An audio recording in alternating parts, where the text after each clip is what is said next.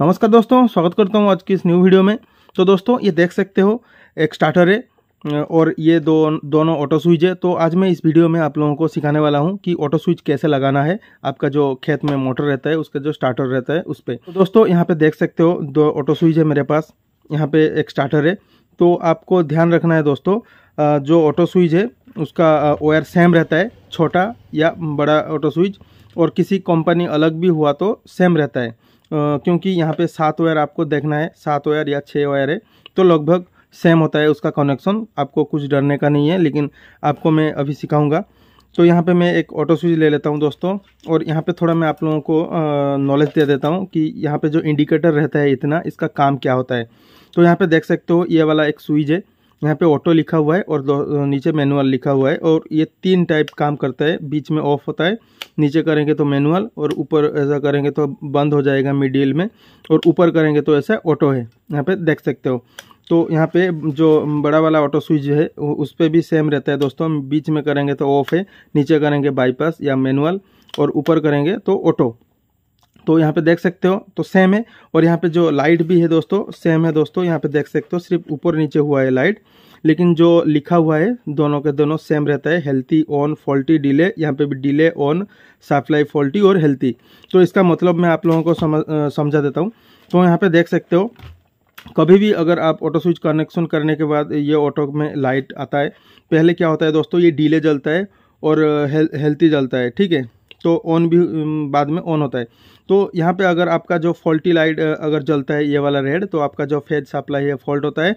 या तीनों फ़ेज़ में से कोई एक फ़ेज़ नहीं आता है मतलब रॉन्ग कनेक्शन होता है तो यहाँ पे फॉल्टी या अनहेल्थी जो लाइट रहता है दोस्तों सप्लाई यहाँ पे हेल्थी या सप्लाई फॉल्टी करके आपको जो अगर एलईडी जलता है तो आपको समझ लेना है, आपका जो फ़ेज़ है नहीं आ रहा है या गलत कनेक्शन हुआ है।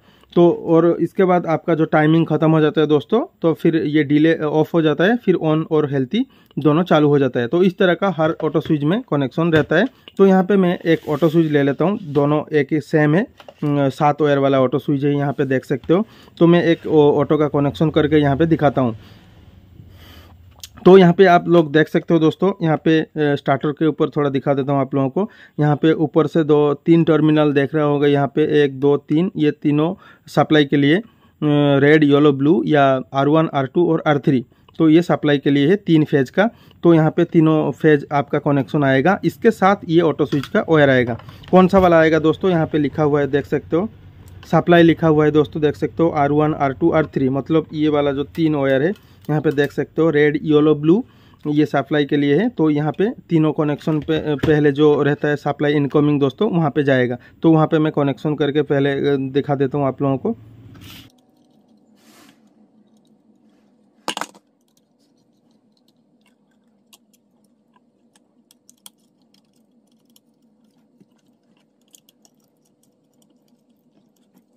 तो यहाँ पे देख सकते हो दोस्तों red yellow blue R one R two R three में मैं लगा दिया हूँ यहाँ पे अच्छी तरह से।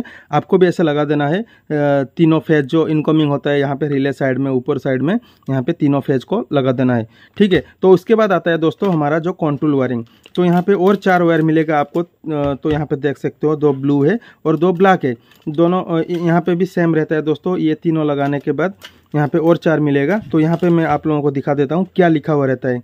यहाँ पे लिखा है in in series with no volt coil N और वी और यहाँ पे एस वन और एस टू दोनों और दूसरा में ब्लैक में लिखा है एक्रॉस ऑन पुश बॉटम ठीक है?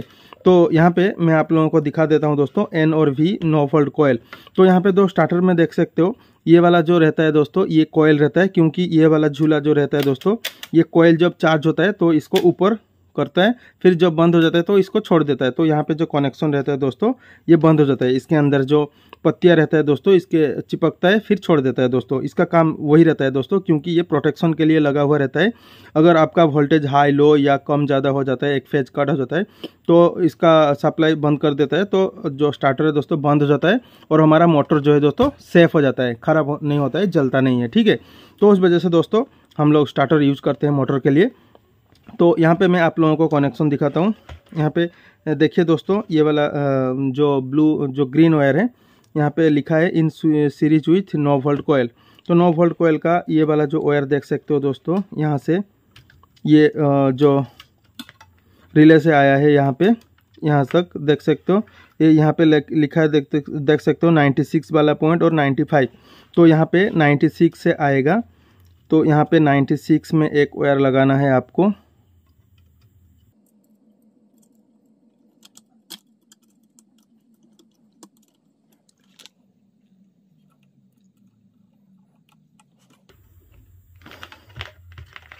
तो यहाँ पे देख सकते हो मैंने एक लूप निकाल दिया यहाँ पे, जो कोयल से लगा हुआ था रिले तक तो ये लूप निकाल देना है। ठीक है तो यहाँ पे जो हमारा ग्रीन वाला वायर का कनेक्शन हो चुका है। फिर दोस्तों यहाँ पे बचता है हमारा दो ब्लैक वाला वायर देख सकते हो। ये ब्लैक वाला वायर आता है यहाँ से हमारा across on push bottom S one और एस टू तो ये जो ऑन पुश बॉटम है हमारा, यहाँ पे देख सकते हो दोस्तों, ये वाला ऑन है। तो ये साइड वाला जो है, ये वाला ऑन पुश बॉटम है। तो यहाँ पे जो दो टर्मिनल है, ये एस वन और एस टू है, ठीक है? तो यहाँ पे लगाना है। तो दोस्तों, दो ब्लैक कलर का जो वायर है, दोस्तों, यहाँ पे देख सकते हो। यहाँ पे एस वन और एस टू में लगा देना है।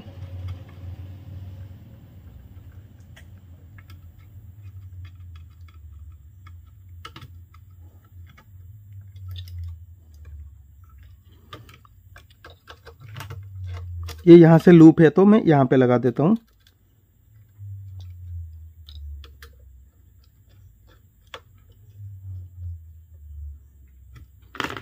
तो यहाँ पे देख सकते हो दोस्तों, यहाँ पे S1 और S2 पे ऐसे लगा देना है S1 और S2 में। लेकिन यहाँ पे किसी भी और लूप को नहीं निकालना है दोस्तों। हम लोग एक लूप निकाला है यहाँ से, और एक दूसरा टाइप का कनेक्शन आता है जहाँ पे ये वाला लूप निकलता है जो ये 95 से 93 तक तो गया है लूप। ये निकलता है। तो यहाँ पे ये दूसरा कनेक्शन है तो यहाँ पे ये वाला लूप नहीं निकलना है। तो ये वाला भी बहुत लोगों के पास सवाल रहेगा तो मैं अभी बोल देता हूँ, ये दूसरा टाइप का कनेक्शन है, वो दूसरा टाइप का कनेक्शन है। ठीक है तो यहाँ पर देख सकते हो दोस्तों, हमारा जो कनेक्शन था, पूरा अच्छे तरह से हो चुका है। इस टाइप का कनेक्शन करके आप ऑटो स्विच को चला सकते हैं। बहुत ही आसान है। यहाँ पे आप लोग अच्छे से देख सकते हो, तीनों फ़ेज़ को यहाँ पे कनेक्शन करना है। S one sorry R one R two R three तो यहाँ पे रेड येलो ब्लू और यहाँ पे आपका जो एन वी का कोयल आता है, जो वायर का यहाँ से आ रहा है स्टार्ट जो ऑटो से हमारा, यहाँ पे एक कोयल को जाएगा और एक यहाँ पे रिले को जाएगा, ठीक है? तो यहाँ पे अच्छे से देख सकते हो, ये ऑफ़ ऑफ़ स्विच है तो ये साइड में लगा, लगेगा। और यहाँ पे देख सकते हो दो ब्लैक कलर का जो एस वन और एस टू है ऑन बॉटम जो है हमारा, यहाँ पे लगेगा। यहाँ पे देख सकते हो एस वन और एस टू में। तो यहाँ पे इतना कनेक्शन रहता है दोस्तों। अगर आपके इसके बाद यहाँ पे सप्लाई फॉल्टी करके आता है, यहाँ पे देख सकते हो फॉल्टी अलार्म आता है यहाँ पे तो आपको क्या करना है, ये तीनों में से कोई दोनों वायर का कनेक्शन आपको चेंज कर देना है तो ये सही हो जाएगा दोस्तों। बस उतना था कनेक्शन वीडियो से आपको बहुत कुछ सीखने को मिला होगा दोस्तों। चैनल पे नए आए हो तो चैनल को सब्सक्राइब करके जाएगा दोस्तों, और वीडियो को एक लाइक ज़रूर कर दीजिएगा। कुछ भी डाउट है तो मुझे आप कमेंट कर सकते हो, और मुझे कॉन्टैक्ट भी कर सकते हो। तो फिर मिलता हूँ और एक न्यू वीडियो में न्यू टॉपिक के साथ। धन्यवाद।